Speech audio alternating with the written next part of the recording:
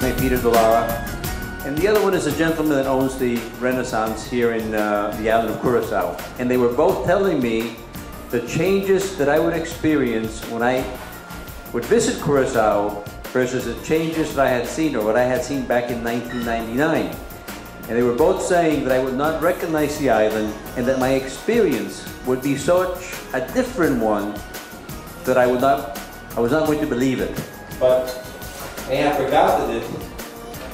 So it's a great pleasure for me to be able to uh, have her name back on the island. Who are you?